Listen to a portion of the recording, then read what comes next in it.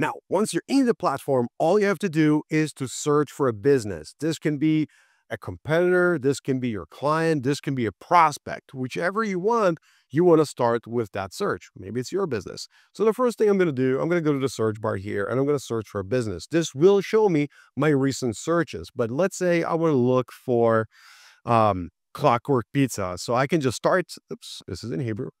So I can just, this by the way, does work in every language. So you can use in Hebrew, you can use Italian, you can use German. We have lots of clients all over the world. So you can use it for any language, by the way. So let's say I'm going for clockwork pizza. And if it's not going to showing the drop down, then what I'm going to do, I'm going to use the search. So let's say clock, um, you know, work, pizza, and these guys are in Tempe.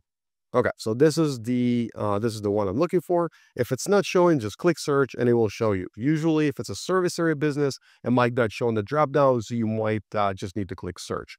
Once you find that business, this will show you where this business is, and it's also going to show you high intent keywords. So this will save you a lot of time about going about your keyword research because it's already going to suggest up to 30 high intent keyword.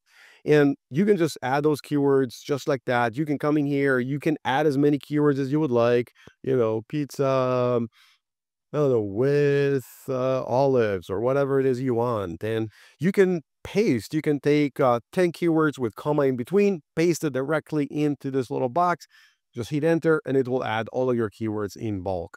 Uh, from here, you can see the amount of reviews. You can move the grid. You can turn off dots on the grid if you don't want to scan those. So let's say it's over water and you don't want to save, you know, you want to save credits or you want to scan on water because nobody's really searching for whatever pizza is on a boat, right? So you can just remove all of those. And of course, you can enable everything just from here. Uh, if you move your grid, which you, you can just drag it just like that, you can also center the grid right back to where it's at.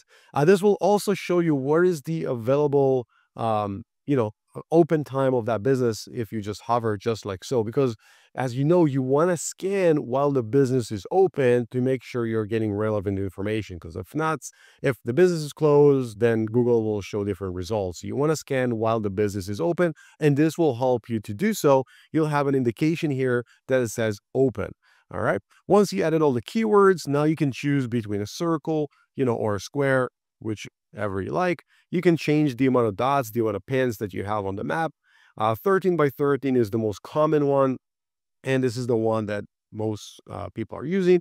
And this will be the distance between the dots. So the distance between this and this is one mile. Okay, so this, um, so if I have it for one, it go from here to here. And as you can see, this is a one, um, you know, called a township uh, in the States where they kind of make everything into square townships, right? So this would be just one mile. Uh, if you do two, then this will do two miles between this dot and this dot and all the way just like so.